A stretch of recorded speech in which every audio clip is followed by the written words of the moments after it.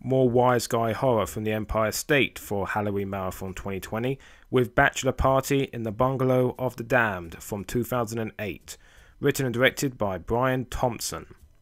A Lloyd Kaufman cameo usually blesses a low budget exploitation feature, and Bachelor Party in the Bungalow of the Damned is no exception.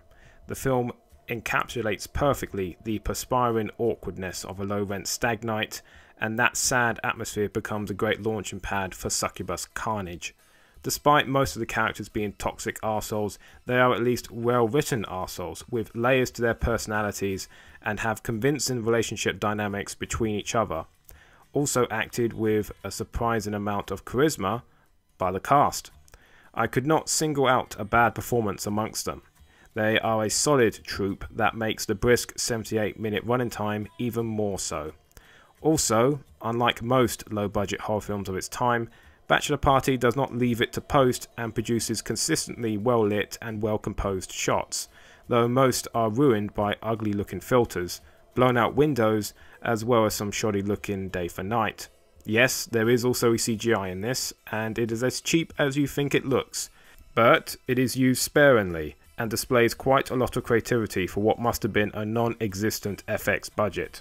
Never does the story delve into annoying tangents or ever loses pace, which for me is the most remarkable element as I see so many films like it become indulgent with their side characters and their little side quests. It's such an easy way to pad out a film and you make your cast happy in the process by giving them more screen time. Bachelor Party does not have ambition, but it does have values in both entertaining its audience as well as maximizing its bare resources to the max.